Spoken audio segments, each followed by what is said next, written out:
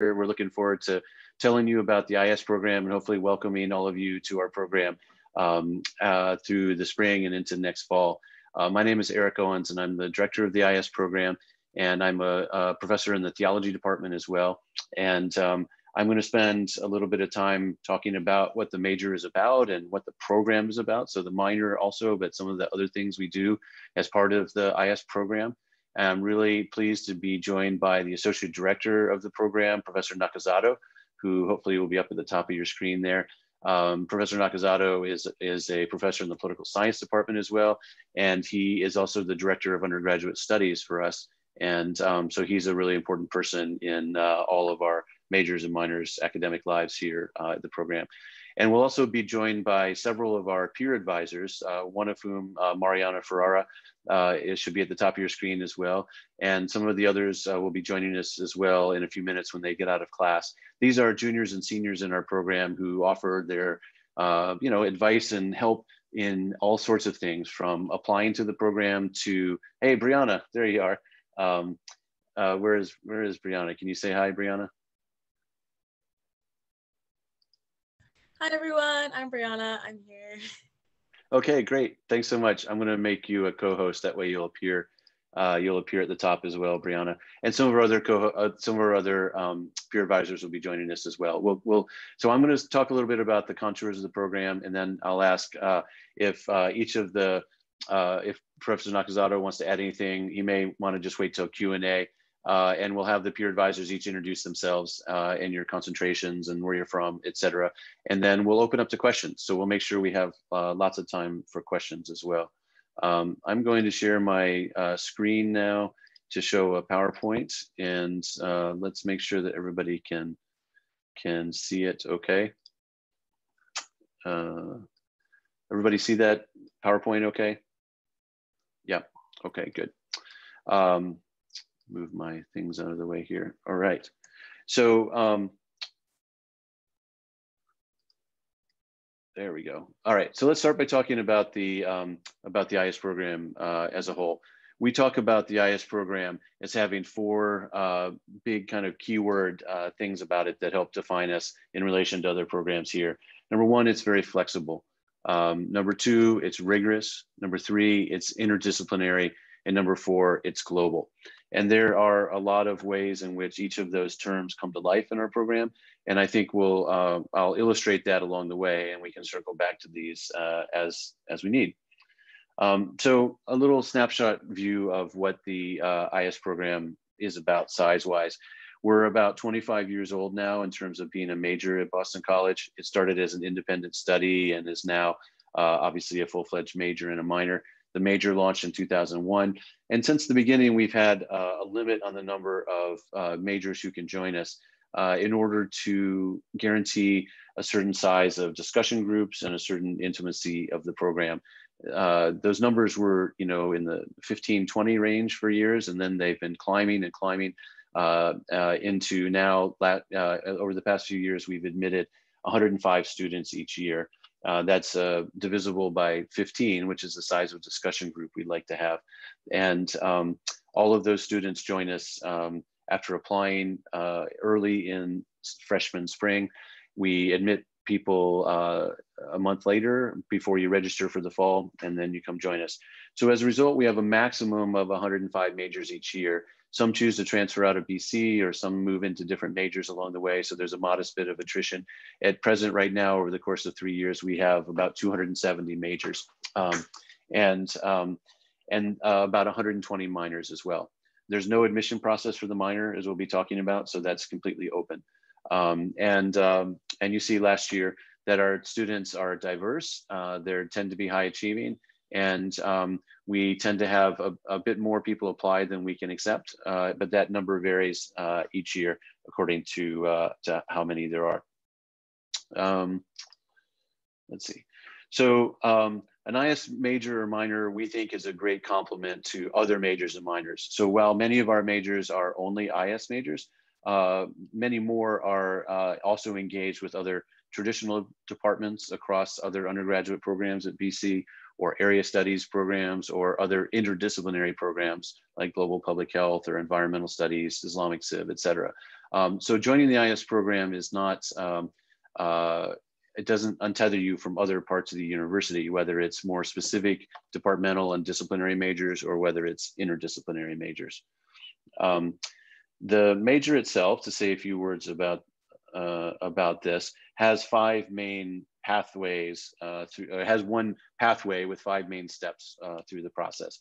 One is you do core classes for the IS major, which are distinct from, uh, sometimes related to, but distinct from the BC core that you've heard of as a freshman. Second of all, you'll pick one of our four concentrations, which I'll talk about in a second, um, within the major. You learn a language or two, you study abroad, and you complete a senior research uh, project of some sort, whether it's a research seminar or a senior thesis. And we'll walk through each of these in turn. So this is a list of our seven international studies core courses for our major.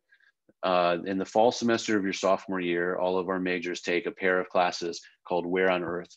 One class is on global history and one class is on political geography. Um, and this is a class where all of the students are in the same class, 105 students, and then broken up into discussion groups and geography labs and things like that into smaller groups as well.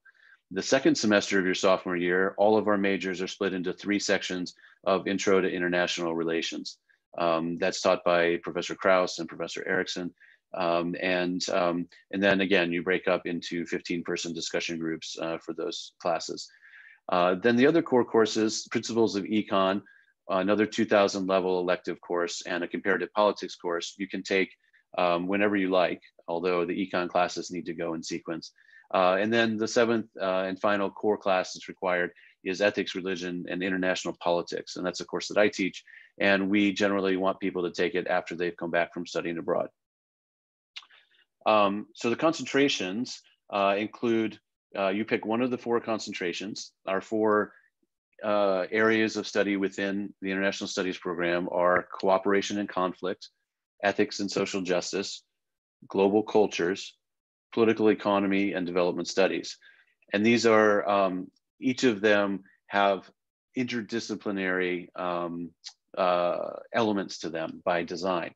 So you're joining an interdisciplinary major, and each of those will have different ways of approaching these same topics. You might want to focus on something like migration or international trade or um, or uh, uh, environmental justice or uh, war and peace. And in each one of those topics, you can study in these different concentrations. So you'll work with a peer advisor and your academic advisor to figure out which of these sound best.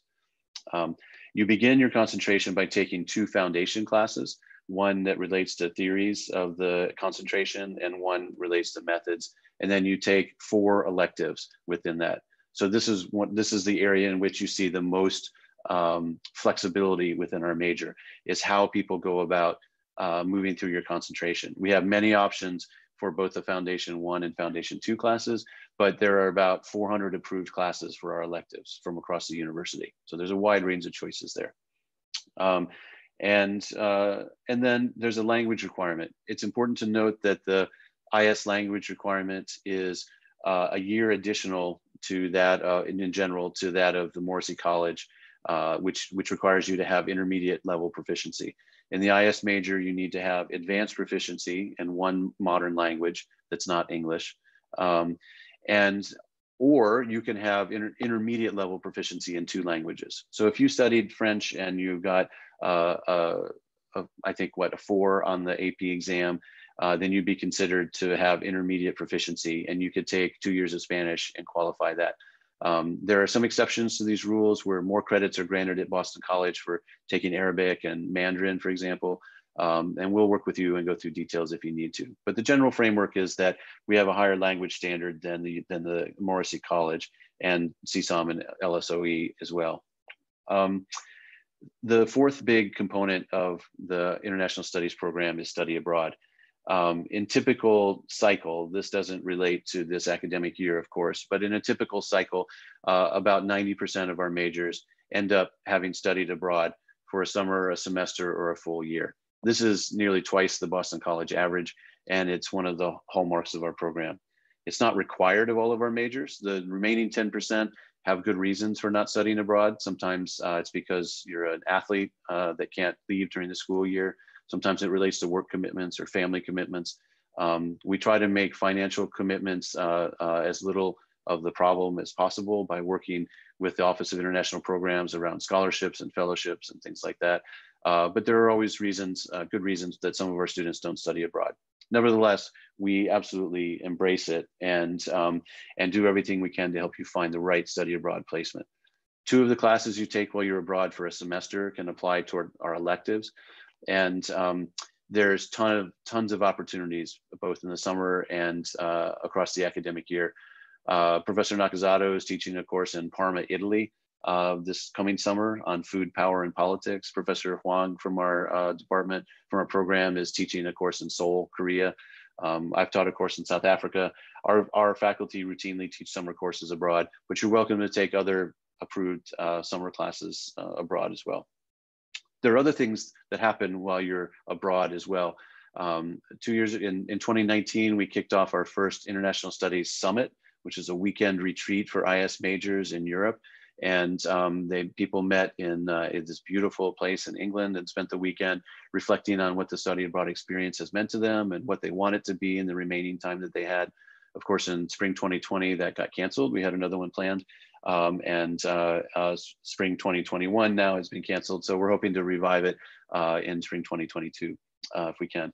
Uh, but there are also internship opportunities and other opportunities that we help you find while you're abroad uh, to learn, travel, study, research, etc. And the final big component of our major is a research seminar or a research thesis. And that comes in the, in the form of one seminar your senior year. Those are some of the examples, or writing a year-long senior thesis. And I can respond to any questions you have about that. But uh, about a third of our students currently are writing uh, senior theses and two thirds take senior seminars for that uh, to, to satisfy that requirement. So the application process um, begins by doing info sessions like now, and we'll do another one of these in January. Our terrific peer advisors like Mariana and Brianna and uh, the others uh, spend a lot of time talking to prospective students and we'll put a link in the chat as to uh, where you find the list of peer advisors to contact. They're happy to set up appointments with you to talk about the application. Uh, the timeline is that uh, in November after Thanksgiving or early December, we'll post the application at our website. It's not a secret application with trick questions or anything. It's very, it's quite simple actually. And you can download last year's application. Uh, it simply has two short essay questions and then uh, a series of questions about your interest in the program and you attach your transcript. These applications are due uh, February 1st of 2021.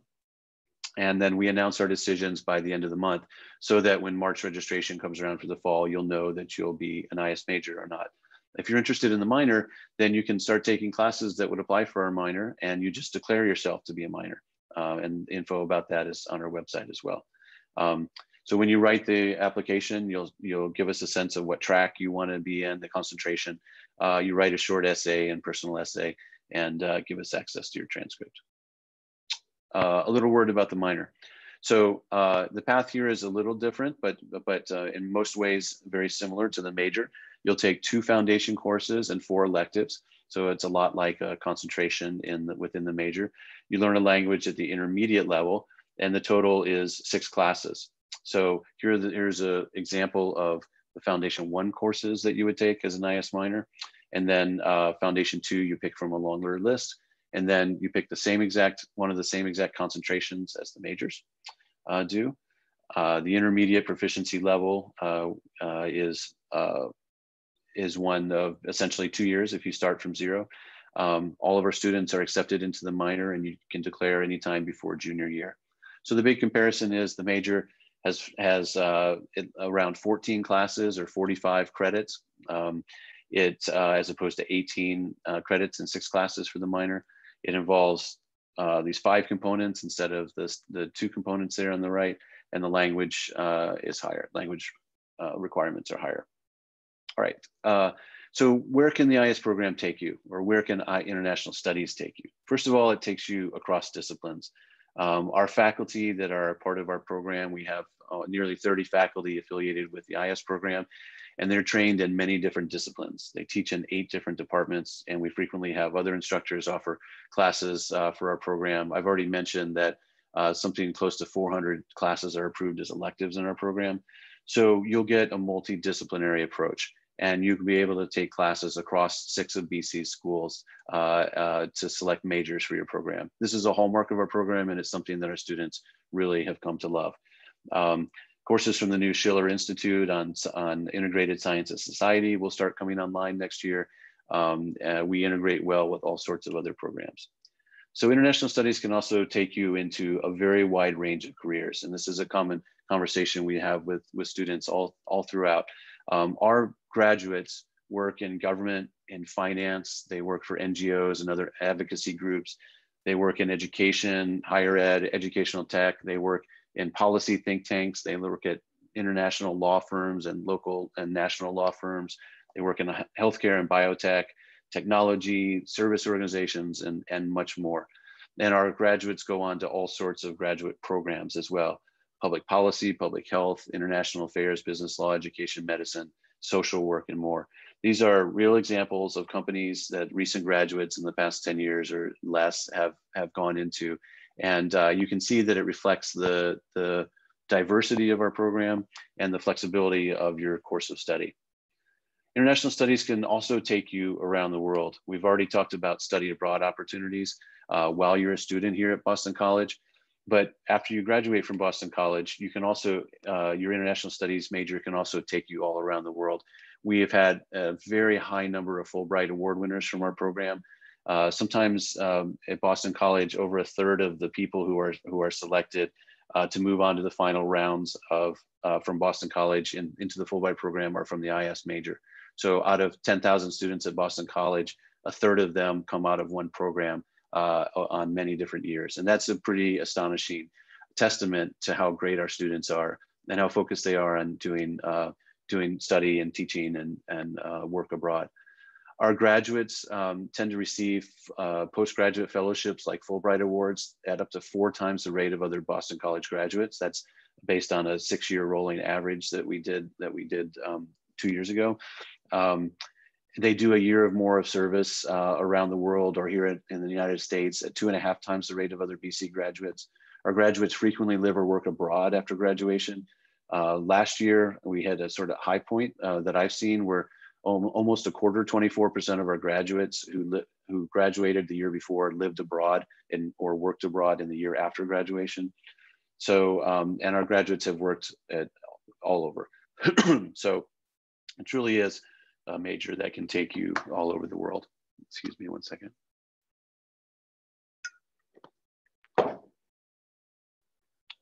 the last thing I'll mention before I turn it over to our um, to our uh, to Professor Nakazato and the peer advisors um, is that our program is much bigger than just the major and the minor. Although of course that's the heart of it. Uh, we also do all sorts of things uh, that are outside of the classroom. We have started a new pro project this year that's just getting spun up called Global Conversations. And uh, maybe Mariana can put a link to that in the, uh, in the chat for you all. Um, we invite every one of you to be a part of that program. It's a new um, opportunity for students at Boston College to have uh, informal one hour conversations with a small group of university students from other parts of the world on one of six major themes that we're talking about. Um, so we'll be spinning up dozens, if not hundreds of these conversations over the course of the year.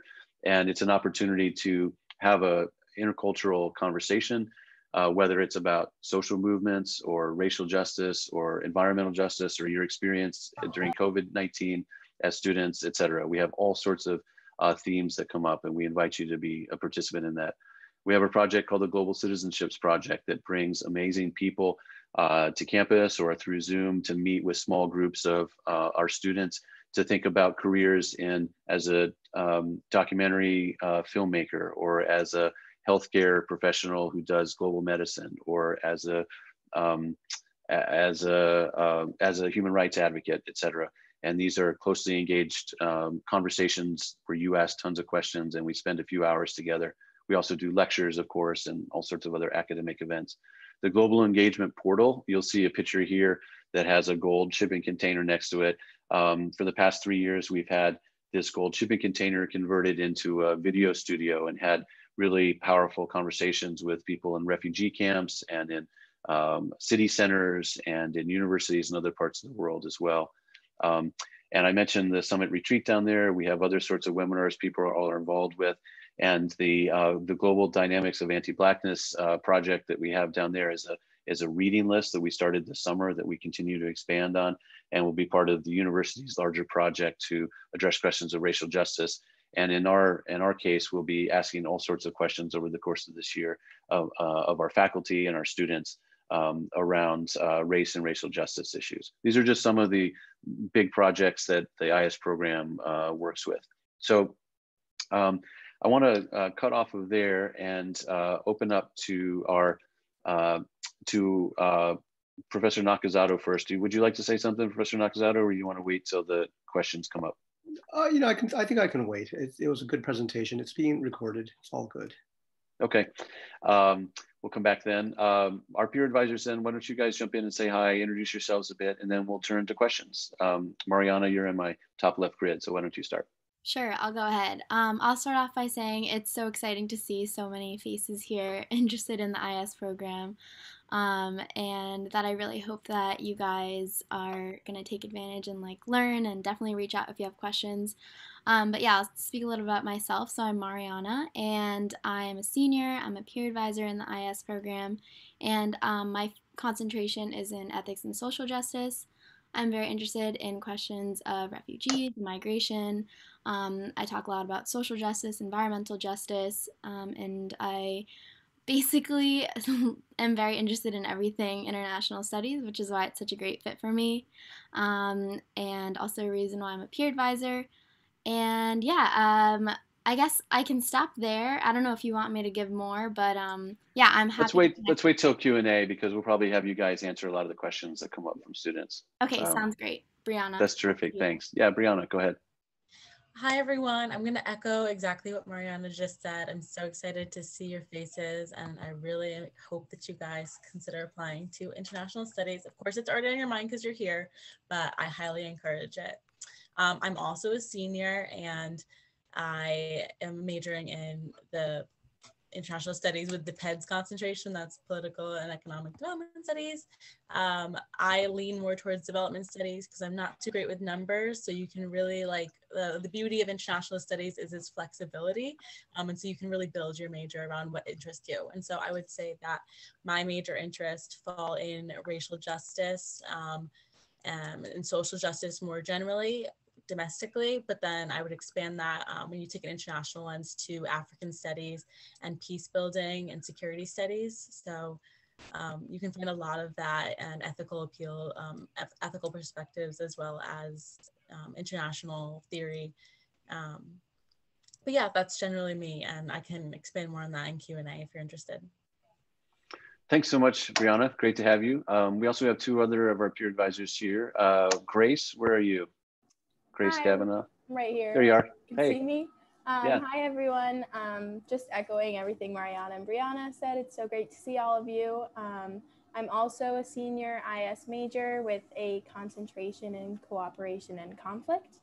Um, and I was really attracted to the IS major freshman year because it gives you the opportunity to take so many different classes in so many different subjects. I've been able to take classes in the history, political science, sociology, econ departments. Um, so it's really given me an outlet to sort of pursue all my interests. Um, and I'm here to answer any questions. Really excited to see you all. Great, thanks so much. Um, and uh, Mary is here today too. Mary, can you say a word? Hi everyone, my name is Mary and I am also in the Ethics and Social Justice concentration in the International Studies major. And uh, I'm really excited to be here today and see every single one of you interested in majoring IS. And uh, my interest in particular is also about migration refugees and also particularly human rights, um, as well as say memorials and um, saying forced disappearances that was happening in Latin America. And uh, I am also here to help anything on one of you with any questions you've asked. Um, and um, if you have any questions, feel free to ask. Great. And Mary, I don't know if you mentioned uh, Mary's an international student also, um, and we always have uh, a strong presence of international students in our uh, in our major and our minor as well. And so um, our peer advisors have all sorts of experience around what that's like and and uh, how to help fold you into the into the major and into our community. Um, I think that Mahima and Pearson, our other two Grace advisors, our other two advisors, um, have class right now. So um, let's open up for questions. Uh, we'd love to hear what's on your mind, what you're interested in, um, what we can help you decide, and um, how we can point you in the right place. Feel free to use the hand thing if it's available to you uh, on um, on the uh, on the Zoom thing. I'm not sure if it's properly set up for that, or you can just jump in and unmute yourself. Yeah, Saya. Um, I was just wondering for freshman students who have already completed the majority of their core, do you have any recommendations scheduling wise for next semester, considering obviously there's no guarantee that we'll be in the major, but just concentration wise? Yeah, that's a great question. It's it's a common question that we get, and, and it's a good one. Uh, Professor Nakazato, why don't you take that? generally speaking, we encourage students to have a backup major. Quite often you've come to BC undeclared, which is fine. Or, you know, you're thinking maybe sociology, maybe political science. It's worthwhile testing the waters. You can also then check to see if there's any IS usable courses in that sociology major or the history major. And so there's sort of ways of, of planning um, for the best, but having a fallback plan. And your problem is you said, well, I've kind of done most of the core, which is still fine. So you're thinking, you know, I would like to be an ethics and social justice major. The classes in theology interest me. You can then take maybe an upper level theology class that, again, pushes your interests. Some are IS usable, some aren't, but there are ways to do this. Again, we do have advisors that can sort of walk you through, oh, this is a good course, that's a good class, and what have you. And uh, again, you are taking 40 courses over the uh, four years here, and a major is usually a quarter to a third of that. And so you're not defined by your major. So take classes that interest you. That's really what's important to me. And you know, as long as you can sort of express that in your application, I really want to be an IS major. Here's what I bring to the table. And it could be lots of things. You speak multiple languages, you've traveled, or the courses you've taken. All of these sort of define you. Um, and there's no sort of winning magic bullet that gets you into the program. That's the good thing. Um, so yeah, I would I would encourage you to uh, use the second semester to explore different departments and different programs, and and that's probably the best advice I can offer anybody. Yeah, we'd love to see, um, you know, of course, uh, for people who are applying, we'd love to see an interest in international and comparative uh, courses. Um, so if there are areas of the world that you'd like to study more, uh, you know, there are all kinds of terrific classes on, you know, African politics or Latin American human rights or whatever. Um, those are always great to see. But as Professor Nakazato said, we don't require any particular class to have been taken before we admit people into the major. We want to see um, that you're capable of uh, flourishing in rigorous courses. Um, so, uh, but that doesn't, they need to be related to the kinds of courses we would offer. So if you had a tough opening semester and did a terrible, uh, had a terrible uh, time of organic chemistry, that really has no bearing on what you're going to do in our major. We have uh, plenty of people who who start off, you know, taking some really intense um, natural science courses uh, that that can be, and they decide that it's not for them or they don't do well. Those are not things that we worry too much about. We look we look at the fact we do look at GPA, of course, um, but we also when the GPA is lower than we might expect, we look to see where it comes from, and uh, frequently they're from a you know organic chemistry or something um, and uh, and we take that into account for sure. Other questions, uh, Cameron. Uh, yeah, on the admissions page, the uh, section for cooperation and conflict sounded really interesting to me. I was just wondering if any of the peer advisors could maybe talk about like specific classes they took related to that concentration or just the like general feel of it. Terrific. I think Grace is a CNC person, right? Yeah, I'm CNC, so I can talk a bit about that. Um, I obviously love the concentration, um, but in terms of specific classes that I've taken, um, I've been interested mostly in sort of a comparative politics approach. So looking at um, different regions and the way that conflict and cooperation plays out there. So, for example, I last year took international relations of the Middle East with Professor Krause um, which was a fantastic course. I will say that's probably sort of an upper level course um, that I like it was difficult, but like a great course. So maybe save that for um, when you're a sophomore or junior. Um, but a lot of courses like that, um, a lot of poli sci and history courses, I'd say, um, are what most of my CNC friends take. There's a few good courses on Latin America with Professor Purnell, who is a popular professor. Um, and then a really popular course, which Mary's in as well right now, is um, a sociology course, Peace or War, with Professor Derber, which satisfies one of the foundation requirements for cooperation and conflict um, and I recommend that one for sure. So there's a ton of different options. If you look at the website, you'll see just next semester there's like 30 to 40 electives that are um, available for CNC. Um, so if you want to talk more about specific courses or ones that I'd recommend, um, feel free to email me or sign up for a session as well. Um, yes, I put a link in the chat there to our list of approved courses uh, that are for spring 2021. So you can see that on the on that page, there are tabs on the left when you scroll down a little for our core courses and then for each of the four concentrations and then our senior seminars and then a focus on uh, some of our new classes and, and summer courses that are offered. So you can get a taste for what the electives look like. Um, we, you know, I think it's always nice to get some foundational courses under your belt so that you your electives build on the on the theories and methods that you've learned in those things and the content as well. Um, but you know, one of the things that we love about being interdisciplinary is that we want to encourage people to pursue their interests, and uh, we'd love to see you do that as well. Do other uh, peer advisors want to recommend any CNC courses that they've liked? Any any particular ones that might cross over? I would emphasize I, I recognize a lot of the ones that Grace said because um, they do mm. cross over a lot, which is nice. Um, Purnell is wonderful if you're interested in Latin American politics, and um, I think you mentioned Derber's class too. It was definitely interesting take, very different than my other professors um, that I've taken before. Yeah. Right. We have people, you know, faculty who have very different views on the same topic, uh, teaching classes that you uh, that you'll take multiple ones with very different views, and that's exactly what we're about. Um, other questions? Oh, so do you have to go in with like a set concentration, or can you switch at like the end of sophomore year? Great question. You can switch whenever you want. You can switch your concentration whenever you want, as long as you can complete that concentration. So there are many courses that count for two or even three sometimes uh, concentrations if they have uh, if they're diversely you know situated. Um, and so it can be quite easy to pivot between concentrations along the way. There's no penalty or anything like that. It's just a matter of whether it can be worked out. Um, so it doesn't, when you're applying it, we don't accept people by a quota system of which concentration they want. We accept people and then we see what they like. Um, and that has no bearing on how we're accepting people.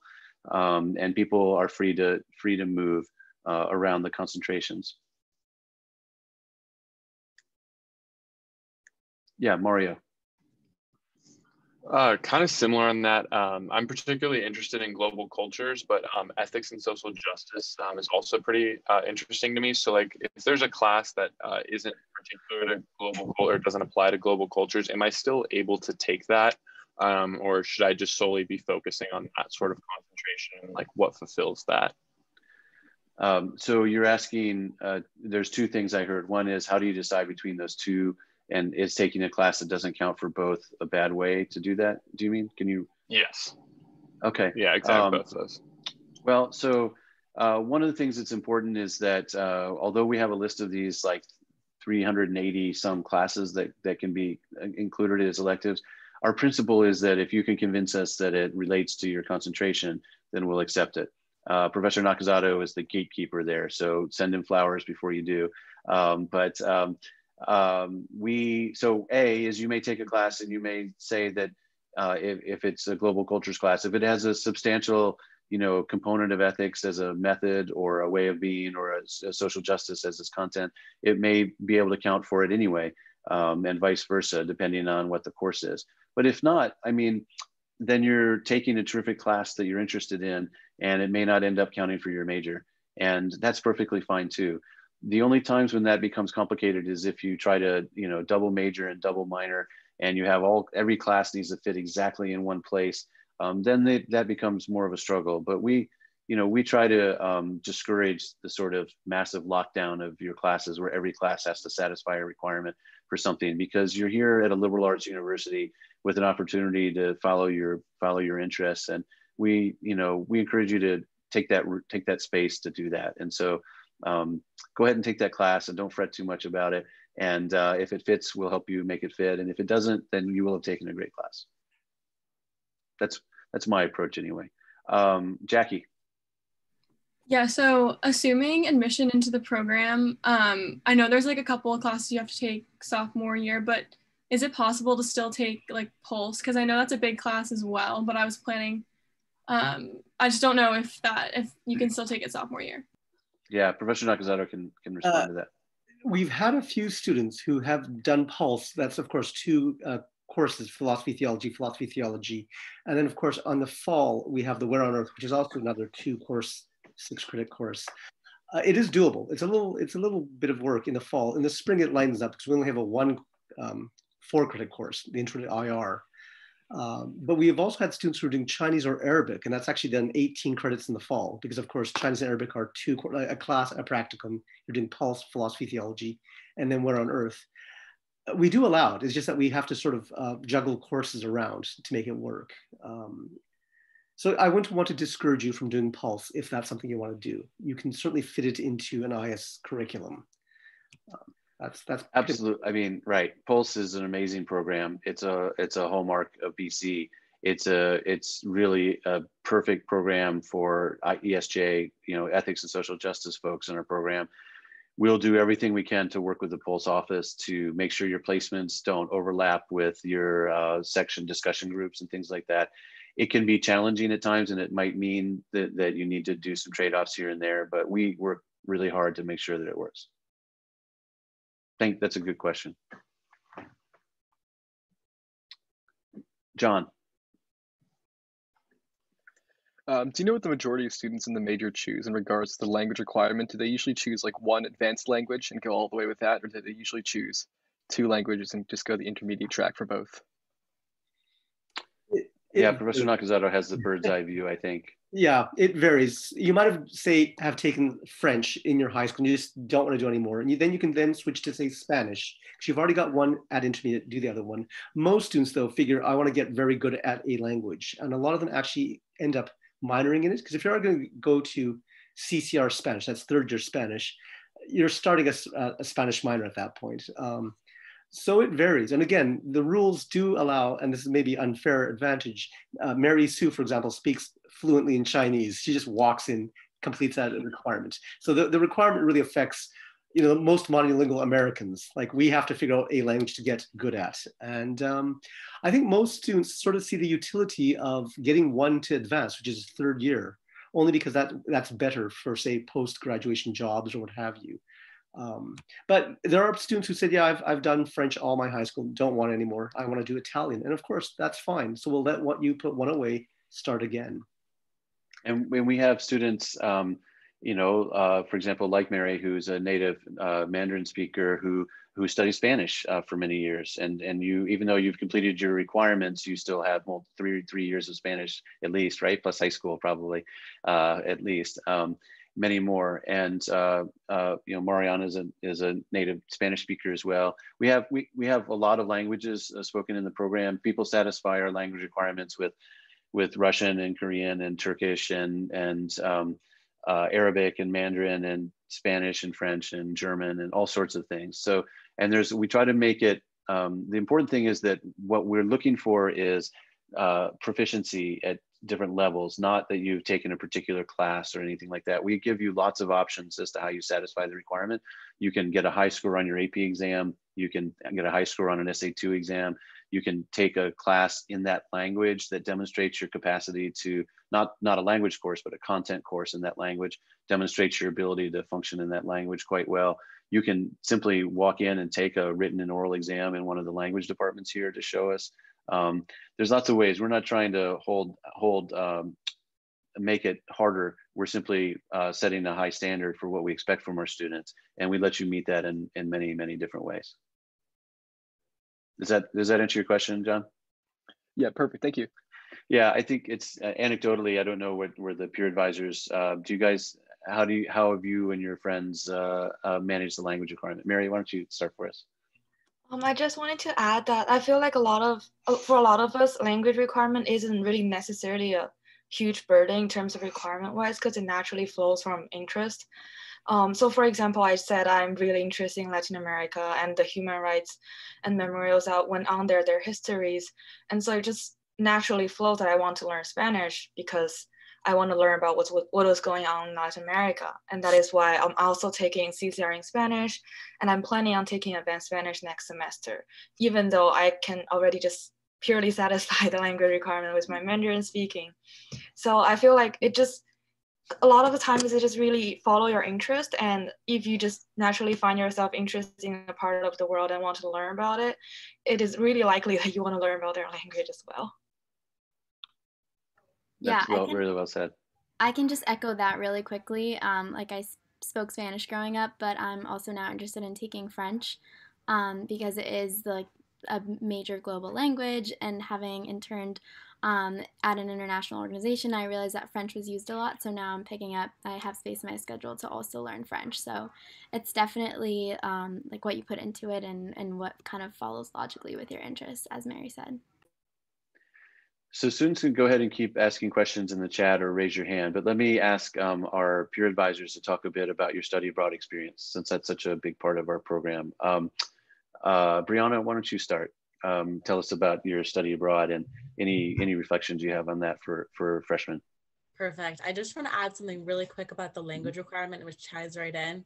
Um, for me, I did have to take the three years of French, which I'm no good at languages. Um, it's very tedious for me, but I do think it's important, and I'm I'm considering ways post grad to be continuing taking French because I know that my regional focus is Africa, and I know that I want to work in international organizations and um, the second global, the second language in the UN, if not the first, is French. So I know this will be important for my future and it will open up a lot of doors. So I'm going to continue learning French, uh, which is why IS has this requirement for reasons like this. But yeah, study abroad was amazing, but it was cut short by the coronavirus, unfortunately, during the semester.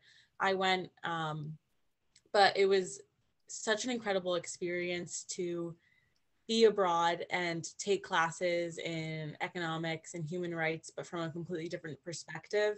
Um, we took current, I took a current issues class on American politics and UK politics, but from a French perspective.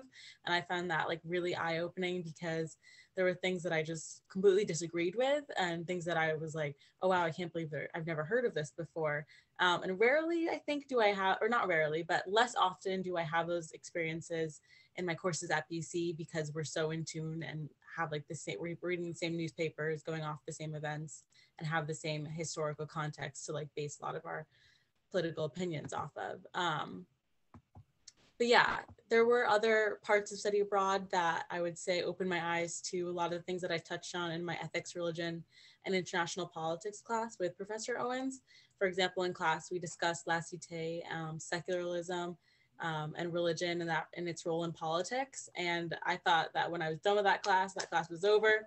But then to when I went abroad to no avail, it was there every day confronting me with the rampant, um, I would say, Islamophobia and just general xenophobia and just fear of immigrants um, in the French culture and society right now, which is uh, continues to be a very pertinent issue. And so that was something since I was in a host family, I had to confront on a daily basis at the dinner table. Um, and I emailed Professor Owens about a month in and said, you know, I'm no good at French. I've been struggling and struggling to like just hold a conversation with my host family, but finally I have started putting together Quizlets just so that I can defend immigrant rights at dinner because I think that is so important. Um, and that just goes to show like how much this major is passion um, and how important the subjects that we work with really are.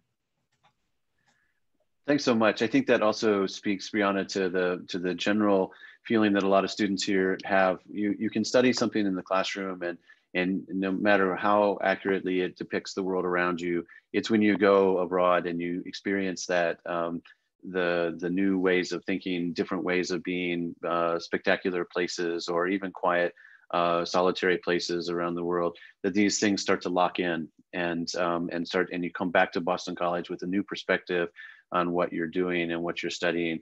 Uh, that can be really um, that can be really profound. And it's not always a perspective of daisies and flowers and and puppies. It's frequently the kind of experience you had, Brianna, which is challenging and provoking uh, ethically and um, and asking you to summon virtues like courage uh, to talk to people uh, that disagree with you across the table in a different language. It's really uh, a huge growth experience, and we we love that it's a part of our thing. Um, do the others want to talk about study abroad too? Yeah, I can talk about my study abroad experience. Um, I actually had two main study abroad experiences. I was really fortunate. Um, the summer after my sophomore year, I did an internship with the State Department in Lima, Peru. So that was sort of my first big study abroad. Um, and it was a lot different from, I think, a normal um, academic one, just because it was a lot more independent um, and sort of figuring out what I was doing. Um, it was a professional environment and kind of similar to Brianna, that was the first time that I really saw academic issues I had studied in school happening in the real world. Um, during that summer, it was sort of right in the midst of the Venezuelan migrant crisis starting to become a really big issue. And I, I would have conversations with my Uber drivers who were Venezuelan, and they would tell me about their families who were still stuck in the country. And just seeing that firsthand in the country and then coming back to BC in the fall and then taking classes on Latin America was just a really awesome experience to sort of compare my classroom experience with my experience living there and getting to know people from the country and immigrants there. Um, so that was a really great sort of study abroad experience for me. Um, and I'm really grateful that I did that. And then as well, um, last spring, I studied abroad in Granada, Spain um, before COVID hit too bad, um, obviously. Um, and really similarly, I was there for two months, but just a great just a great overall experience. I think the best way to perfect or get better at any language skill is to be somewhere fully immersed. That was huge for me.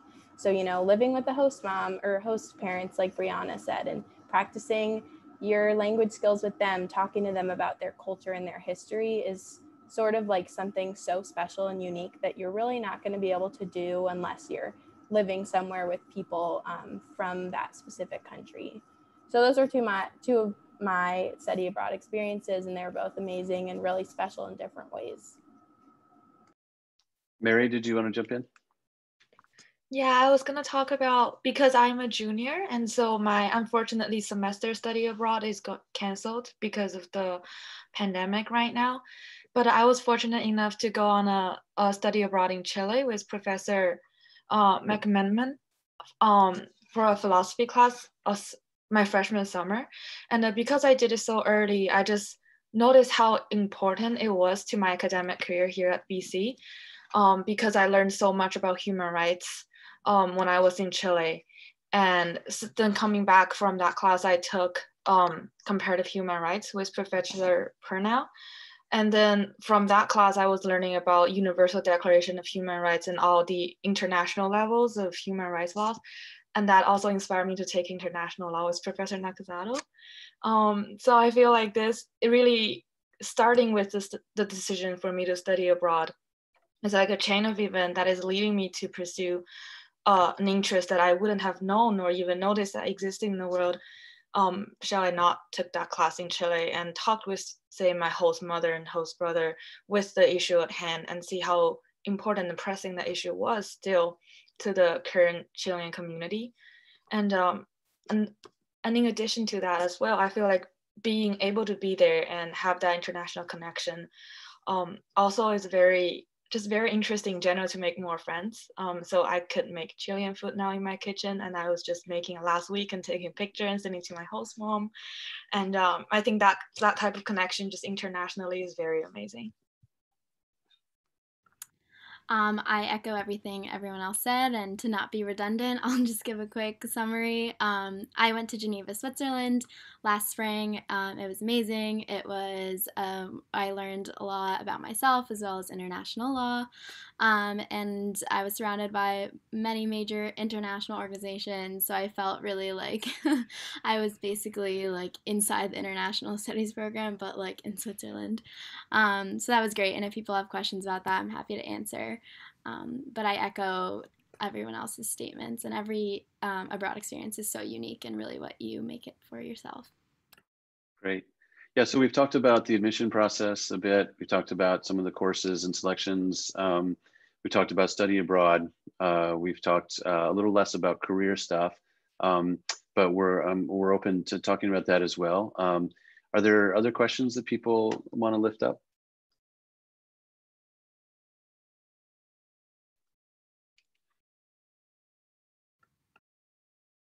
Is it possible we answered everyone's questions?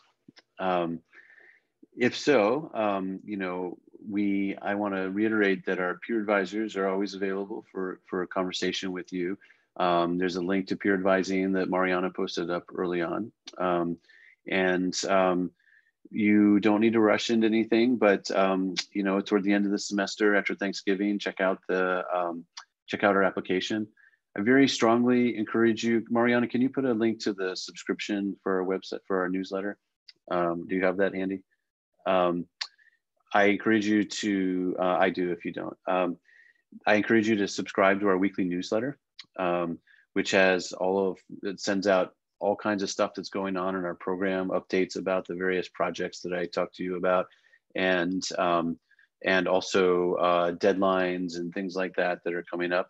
Um, here's the, uh, here it is in the chat there.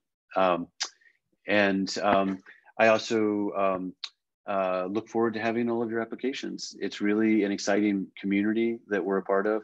It's a privilege to teach here as a part of it. I love the students that we have. We really work hard to build a community here.